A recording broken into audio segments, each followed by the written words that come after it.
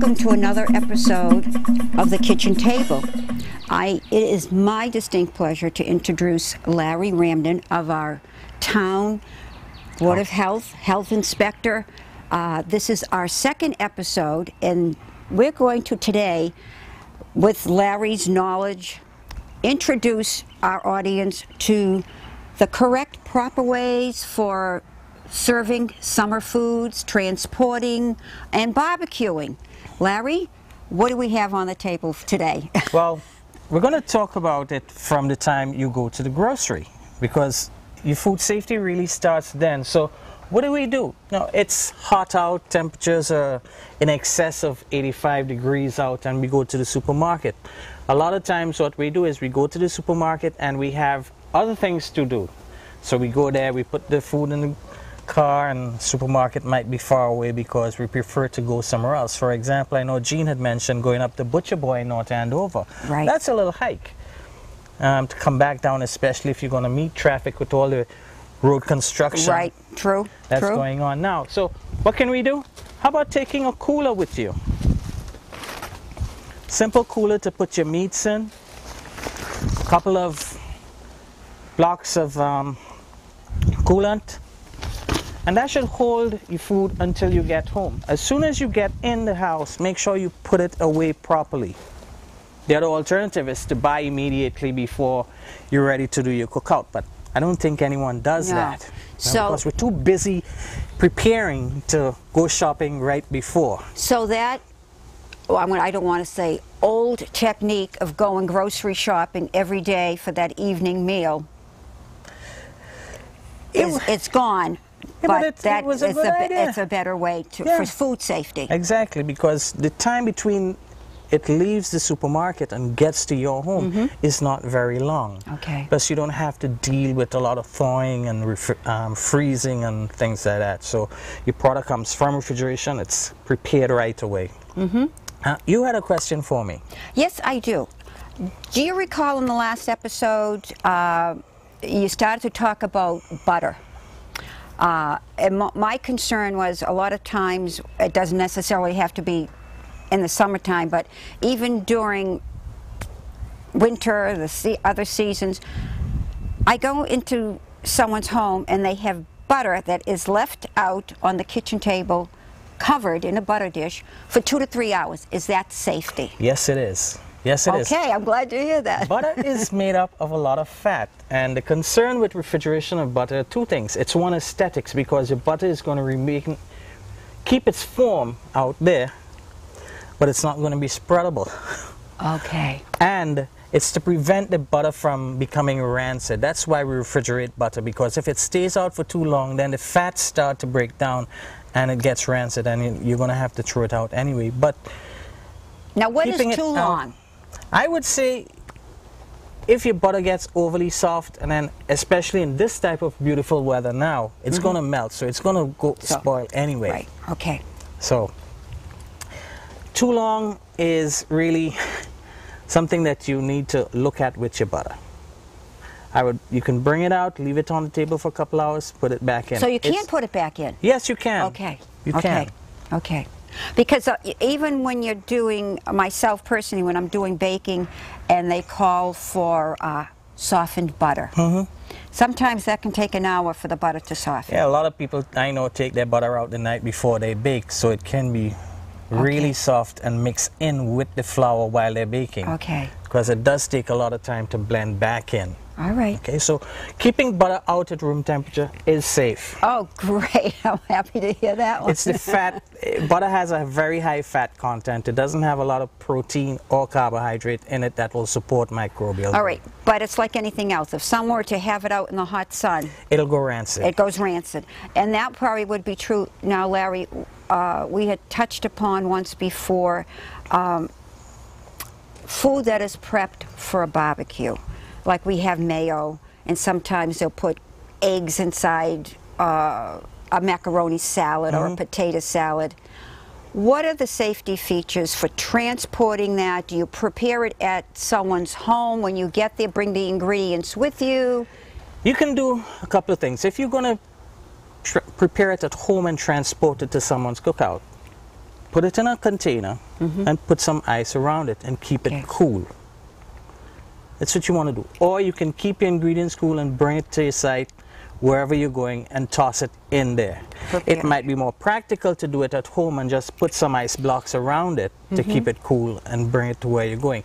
All you have to do is get a box, put a clear plastic bag in it, put your container, fill some ice around it, wrap it over in the box, tie the bag, cover it, and you have an instant disposable cooler. It's insulation. That's not ex- right. exactly, and it's not expensive. You can also wrap with some newspaper Oh, all yeah, I've around the done box. that. Put layers of newspaper I've around. done that yes, I've you gone mentioned Butcher that Boy. Yeah. Now, one other thing, and I don't know if if it would melt too quick. What I have done is, I have a large um, stainless steel bowl. Bowl. So I can pu- put my crushed ice, and then I've already prepared, say, my um, potato salad. Take Yep, it out and make an drop ice bath. it in. And okay. we're going to get into that Oh, because okay. we're going to be talking about those things. So Great. Okay. what we need to do is let's think about what we're doing in a little sequence. So we went shopping, we bought our meats, we bought our ingredients. We've gotten a cooler, we have some insulated bags or something that mm-hmm. we have our cold products in. We bring it in, we put it in the house, we prepare it overnight. So what do we do? Are we going to be marinating anything? So we marinate it, we put it in a bag, put it back in the refrigerator. Refrigerator is working properly just as it was. We mentioned the last time. Double check your refrigerators, keep a thermometer in there, make sure it's running below 41 degrees. oh, okay. Comes out. So we're ready to cook. You Okay. bring it out. Mm-hmm. And what do you do with that marinade? Nothing. When you take the meat out of it, marinade becomes trash because remember, you have raw meat in that marinade. So that should not be used as a Should not be used as a base, Because what you're going to be doing is you're going to be taking bacteria from that raw meat and you're going to be putting it on your cooked product and then you're going to get you get sick because that bacteria may not be killed by the heat of the grill. Really? So that means if people have been doing this, this is really a no-no. It's an unsafe practice. Some people would take um, the marinade and then mix it in with barbecue sauce and leave it there, and then people slather it on their burgers. I've seen it happen. so then you have all of the juice, from the meat and the bacteria sitting there. Exactly. And you can get someone sick with it. Now remember, you didn't invite your friends over to give them salmonella. You invited them over to give them food. Okay. That's a good way to put it. So Okay. Now, when we purchase that meat and we we have it home, we had talked about chicken and beef. rinsing chicken and, and rinsing your meats out in a mixture of um, vinegar or lemon juice and salt. So that's both beef and poultry. All meat because what it does, remember, during the slaughtering practice, although they're doing a lot of testing, and our meat industry is doing a lot more testing than they were ever before, because the USDA in, I believe, 1998 had all their meat plants following HACCP, which is Hazard Analysis and Critical Control Points. What they were expected to do is anticipate problems. And when they anticipated those problems, put a control in place to prevent it from happening. Things happen. But what we need to do, we also have to take our precautions because bacteria are very, very small and they may test and it may not be present in the test sample, but it's present somewhere else. We should take whatever precautions we can. If you take the surface bacteria off by doing the acidulated sodium chloride rinse, as they call it, or I just say lime and salt. Lime and salt. Now, Lime is there salt. any percentage or um, tablespoon size of salt? Um, if you use about uh, a quart bowl of water, Mm-hmm. you probably need about maybe two tablespoons of lemon juice to about a Oh, teaspoon okay. of salt. And that's about it. It's not much. You just mix in the water and the salt and the lemon juice together, and then you just rinse your meats so the lemon juice is causing acid acidity. Yes, it's reacting with the salt and Okay. it's lowering it's um, lowering the water acid, and you're making a mild acid in the water. Okay, I've just learned something because I have always, I was raised that you would soak your raw chicken before you use it in salt, make a salt and water. I was raised the same way, and I couldn't figure it out until I was reading a journal one day, and it said to me, as I mentioned in the last program, acidulated sodium chloride. I said, "Wow, this is interesting," and I, I started laughing. Because it was exactly what my grandparents did, what my parents did, and what I was taught to do. We didn't know the science I never behind knew it. why I and here someone read it and they said, okay, you're lowering the pH, which is going to lower the surface bacteria and kill them Okay. off. So, Okay. so the practice was a good one. We just didn't know just the didn't science know. behind what we were doing. So what we need to do is we need to look at how we're going to set up where we're going to cook. I've, I've said before that the most dangerous thing on a cook their hands. So what we need to do is make sure that you have some type of hand washing available because it's not convenient to be running in and out to the sinks in the house to wash your hands. And then we're going to be handling a lot of raw food. We're going to be handling some foods that are being cooked to a lower temperature. For example, Okay. we'll be doing chicken and then we'll be doing hot dogs and hamburgers. So how do we really move back and forth while we're handling it? The other thing I want people to think about is you need to set up your bag or your cooler if you're going to bring the food out in a container. Put the thing that's going to be cooked to the highest temperature at the bottom. So the thing at the bottom is always going to be your poultry, followed by your ground meat. So your poultry, your chicken at the bottom, then you separate it with a layer of ice or something else. Then you put in your hamburger, and at the top you put your hot dogs. And if you have fish or your steaks, they go at the top because they're all cooked to the same temperature. Okay. Steak, hot dogs, unless you're making your own sausages. If you're making your own sausages, then your sausages have should be cooked up to 155 degrees.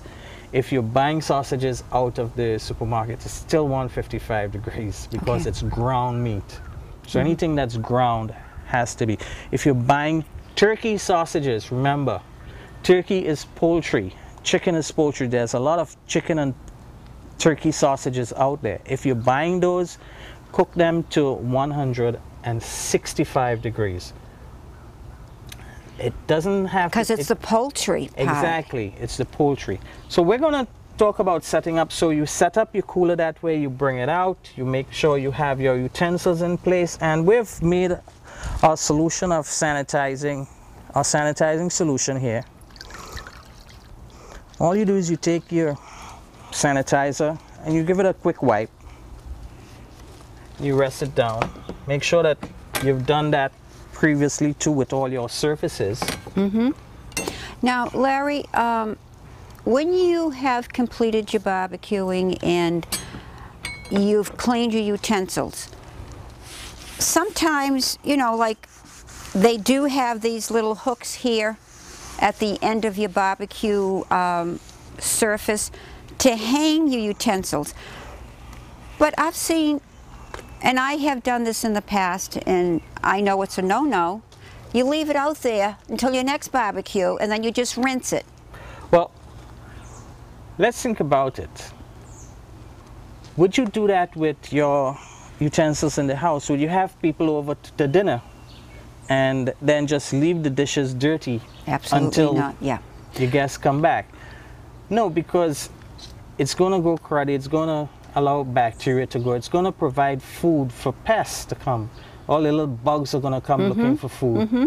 So if you clean your equipment after, clean right after. Right and after. Immediately before and immediately after because you don't know what's happening in storage. Okay. And that holds true with your grills? Yeah. Okay. Now,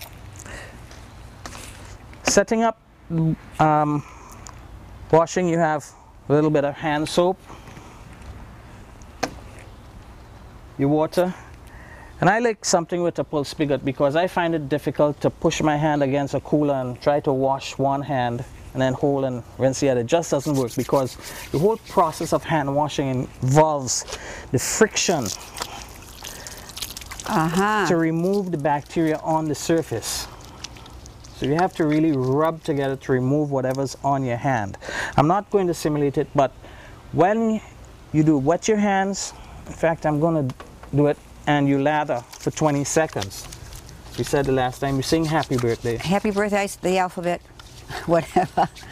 So, actually, if you're going to be barbecuing and you're having a group come in, you almost need to set up a mini little kitchen outdoors. That is exactly it because you have Okay. your, your grilling area is your kitchen.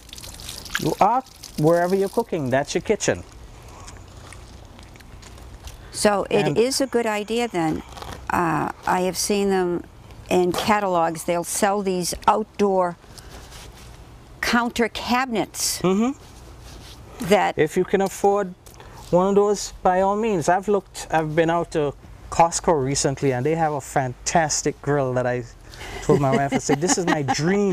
it has sinks, it has a Oh, wow. refrigerator, it has everything that you could want, a full kitchen outdoors. It So you like to grill- like- yeah. I love to cook. It says in my dreams. but I, I'll keep dreaming. so you have to improvise. Yes, and look, we improvised. Yeah, I, I, I liked what you did. We took a clay pot, plastic bag. Now we have a trash container. Okay. Super. We use things right around the yard. So we washed our hands, and yes, I know I picked up the pot, so I should wash my hands before I start handling the All right. food. Remember, hands are the most dangerous things you have. They will, hands travel. They pick everything up and then they'll put it on the food. So we've talked about cooking the food. Of course, I always wear my trusty apron. And why do you suggest an apron, Larry? A lot of people think the apron is in. The apron does two things. It protects you from being stained, mm-hmm. but more than anything else, it protects the food from you. Oh. Okay. When you got up this morning and you changed, you did a lot. And whatever you did came in contact with your clothes, and it's on your clothing, and that is going to get onto the food while you're cooking. And then I'm noticing the baseball hat. Yeah, I always wear a hat because aesthetics, and I don't want my hair getting into my guest food. Okay. While there have been little evidence to show that um, there's been much direct control, but we have bacteria. Yesterday there was a study, in fact, I was looking at the television last night, there was a study showing that our skin has over 200 different species of bacteria on them. 200? Yeah, 200 different types of bacteria living on our skin. Wow. And those will get into the food. Okay, so the apron has a dual purpose. Yes, it's to protect us, our clothing from getting stained and the food from getting whatever's on our clothing Okay. on it. Um, couple tools I have. Digital thermometer. I like a digital for outdoor grilling for one single reason. The regular thermometer that we, We- used, the I last showed show, you the yeah, last time, yeah. it's great for indoor cooking, but since you have to put it up to this dimple, that's an awful deep area. Okay, I have to put, Plus, the- it's a put my glasses on for this one. on the fatter side. Okay.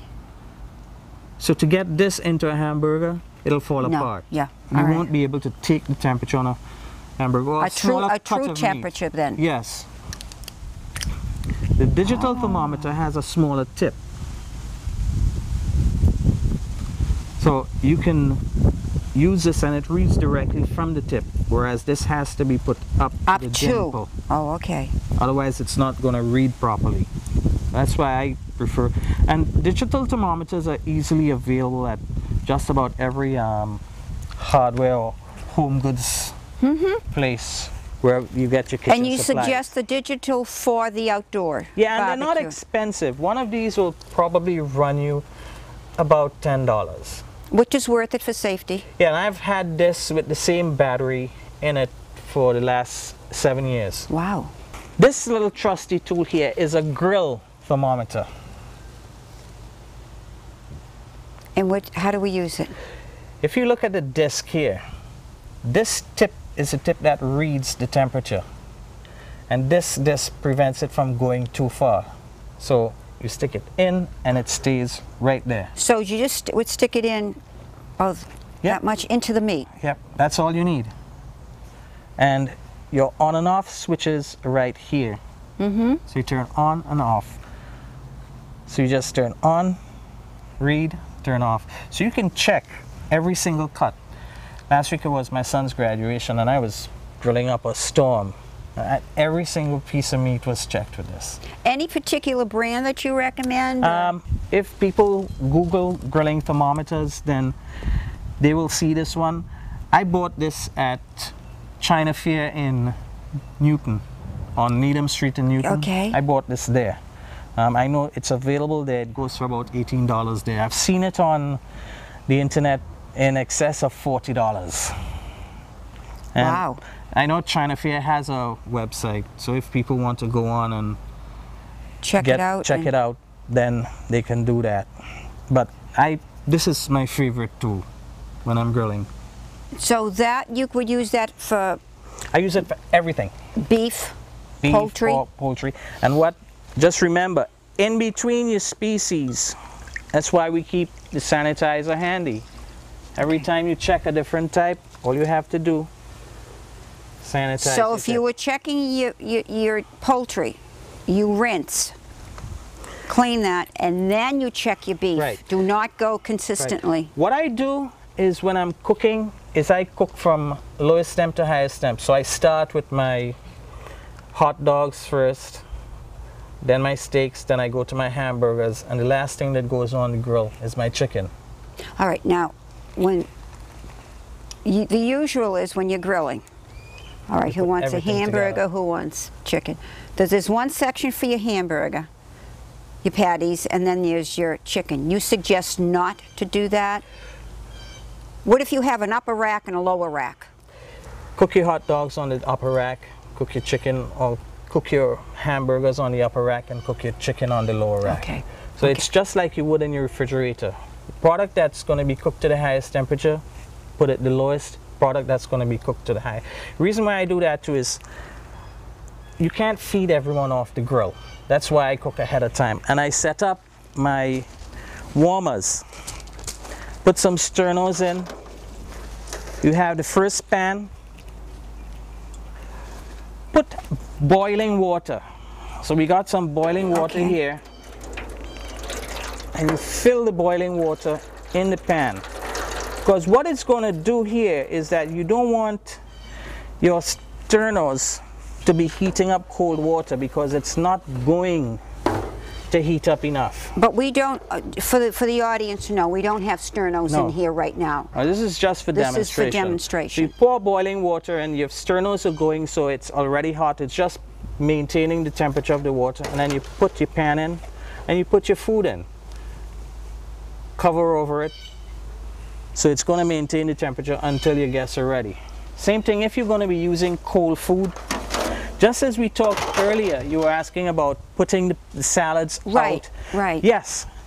Take a larger dish, fill it with ice, and then put the smaller container with your salads in that. So what you've done is you've created an ice bath. Remember, you want to keep your hot foods hot and your cold foods cold. And it does work because I've just done it and food that I had out. And it's not because I'm a professional in this, but because it works. It does. Now, what about, There's no what about science to it. covering these items? Now, we have our bath, we put in our potato salad and our macaroni salad. We need to keep it covered, should we not? Yes. And that's all you do. You just put them in, Okay. get some ice around the sides, mm-hmm. and then cover it. There are a number of different covers out there. You can buy the pop-up covers, Right. cover it. There are foil covers that you can put on them. Some people go into the more expensive chafing dishes. A simple stainless steel bowl with another bowl in it with the ice, around it, it. and plastic wrap is just as good Okay. as those.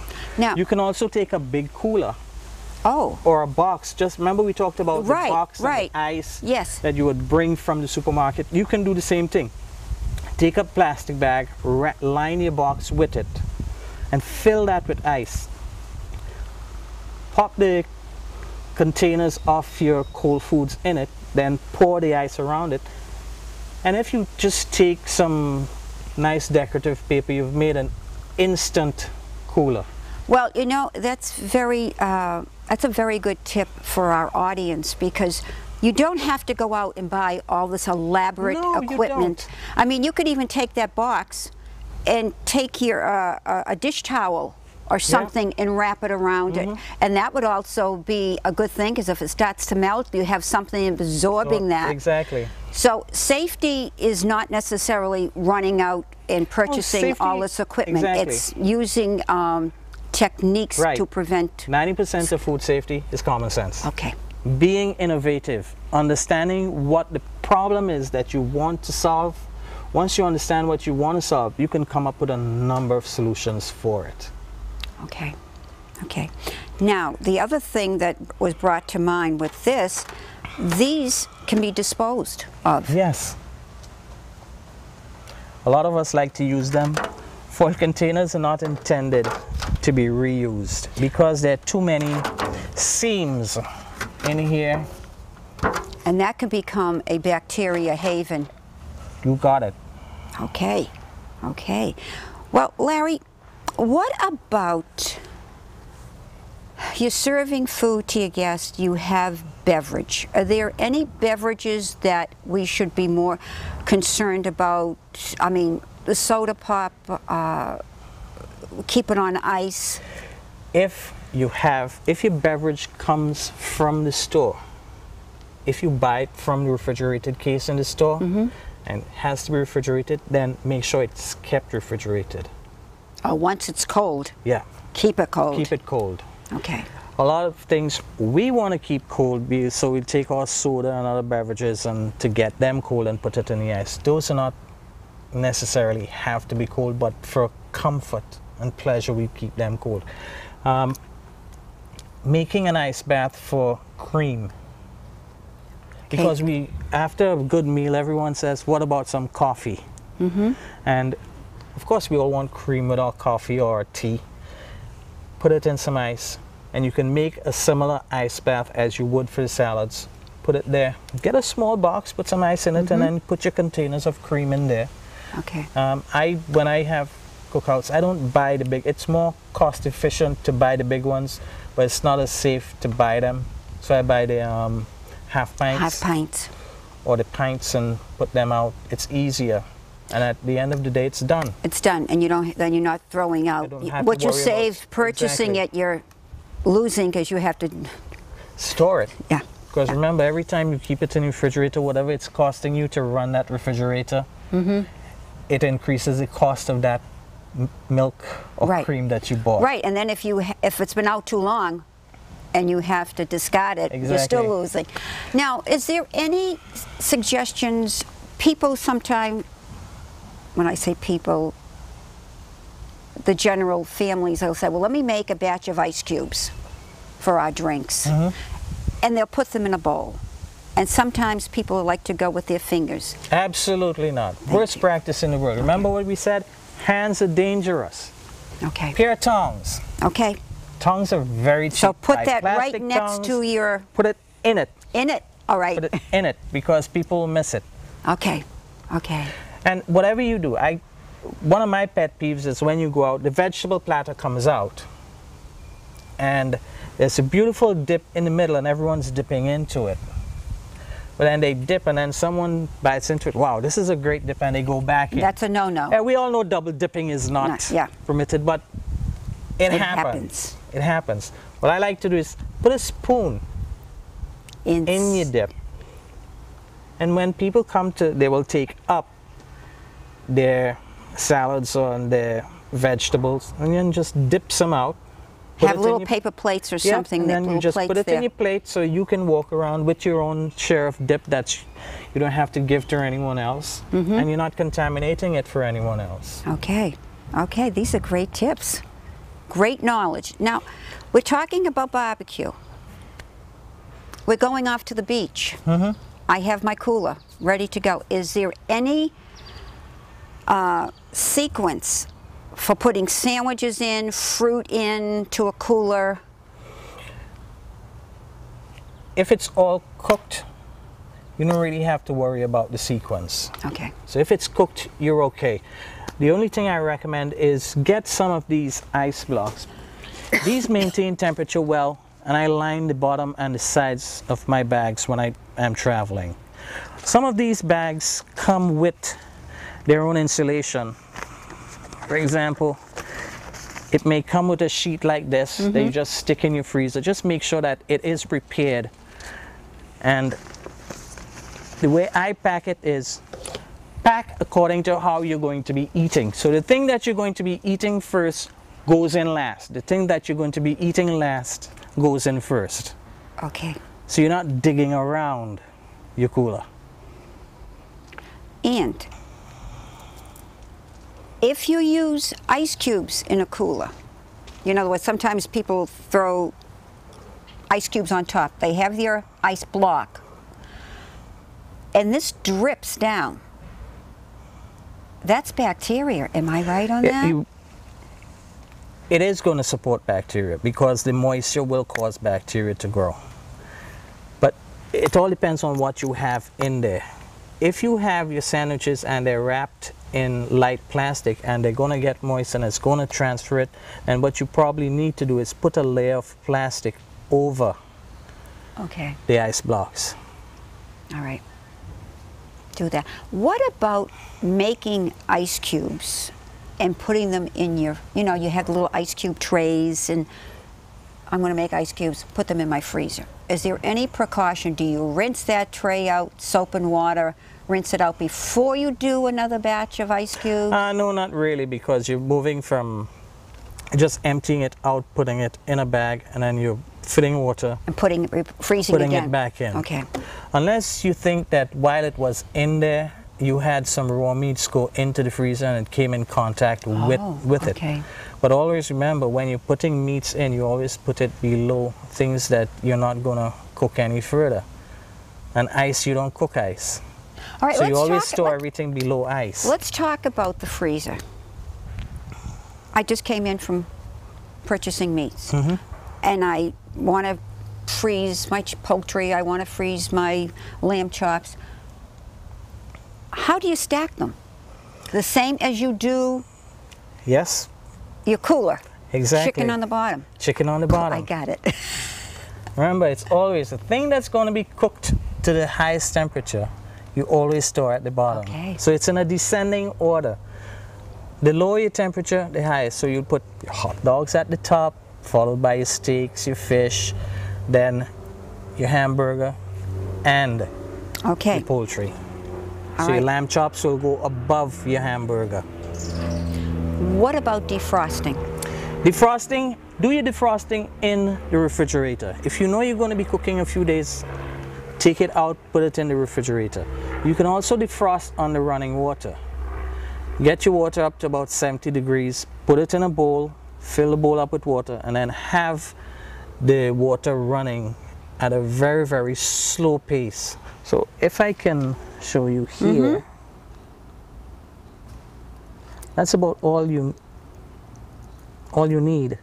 That's a piece of water you want running because what it'll do, it'll create a current in there and keep changing your water out. You can also defrost in the microwave. But if you're going to defrost in the microwave, as soon as it comes out of the microwave, it goes onto the grill Okay. or it's going to be served. Don't defrost in the microwave and leave. The reason for that is you've just brought that up into the danger zone where bacteria will grow.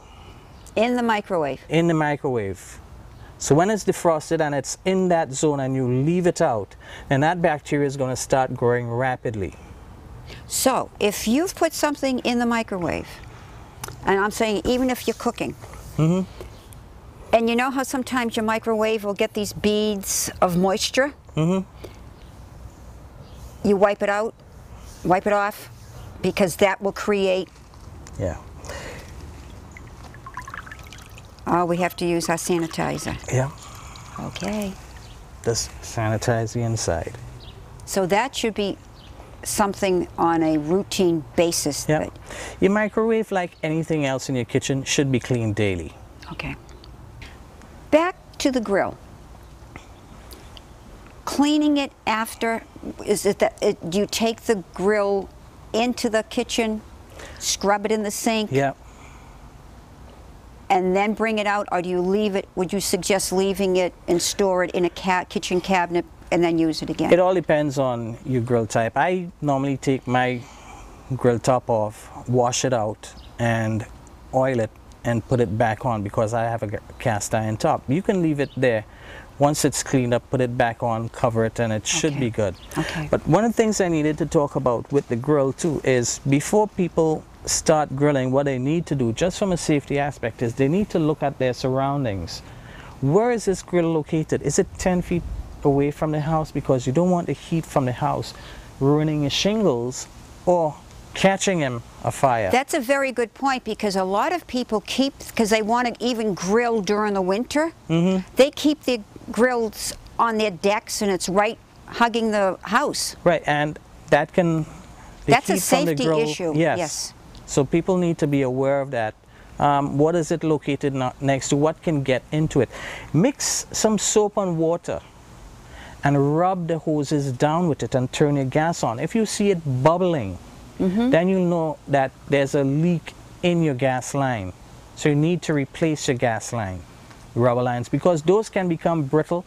Okay. And then you want to grill the meats, you don't want to grill yourself. Yes. yes. The other thing I wanted to talk about was leftovers. Oh, absolutely. I never know what to do with leftovers. leftovers. It's no different than taking the foods in or transporting the foods. Make yourself some little coolers to take it back home. Okay. There are beautiful gallon bags out there, storage bags, plastic storage bags. You put them in the plastic storage bags, uh, the freezer bags. Mm-hmm. Put your food in a freezer bag, wrap it, get all the air out, seal it, and put it in a container with some ice. Those bags hold very well, nothing gets into them, so the seal is very tight. Then you wrap it up, make a makeshift cooler just as we had spoken Right, earlier. okay. And then you can transport it home. Get the um, food inside. Now, if your food has been sitting out, now during regular times, you can keep some things out, I would say, for about two hours and then get rid of it. So if you have a lot of food, don't bring it all out. Keep it inside in the refrigerator, and as the amounts go down, then keep replenishing. Uh, what about, um, But if your foods have been out for a long time, they're gone. yeah, That yeah. You're grilling. I just brought out the hamburgers on a platter. That platter stays there or it goes back to be rinsed to have the cooked hamburgers put on it. it can go back to be washed and cleaned properly for the cooked hamburgers. What I like to do is I use a two table setup when I'm cooking mm-hmm. where my raw foods come in on one side Okay? and it goes to cooked. Oh. So cooked and raw will never meet. So everything comes from one side. There's a flow. Keeps flowing. All right.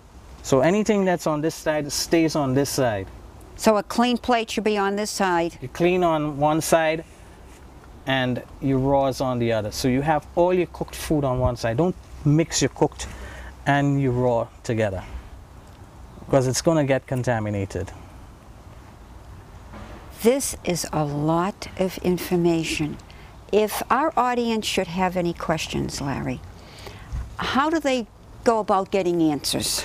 Well, USDA has a wonderful handout online that they've put up. It's Okay. barbecue and food safety. I'm going to post it on our website Wonderful. and people can go to the health department's website and get it. This And- is Reading's Yes. Great information. I, I did browse through this. And Uh, it goes through, it's a very simple explanation on all the All- safety things that you can take to ensure that your barbecues are successful. What you need to do because they talk about pre, before you buying, how you're thawing, marinating, transporting, keeping your foods cold, keeping things clean, doing dealing with your leftovers, pre-cooking, So this is This is your outdoor cooking food safety 101 yes. handout. Okay. Is there anything else you I could give us for knowledge today? Just remember, safe food is keeping food safe is simple. If you follow some very simple techniques, keep raw foods separate from cooked foods. Make sure that your hands are always clean and if your foods are cold, keep them below 41 degrees. If your foods are hot, keep them above 140. If you follow those simple rules, everything should be okay. Well, I look forward to this barbecue season because I have a lot more knowledge now. Thank you so, so much. It's a pleasure anytime. Our pleasure. Thank you again. And we're gonna probably be doing another segment later in the fall for Thanksgiving. and how to prepare that turkey and the do's and the don'ts for safety issues. Thank you very much for joining us today. We look forward to another episode with the kitchen table.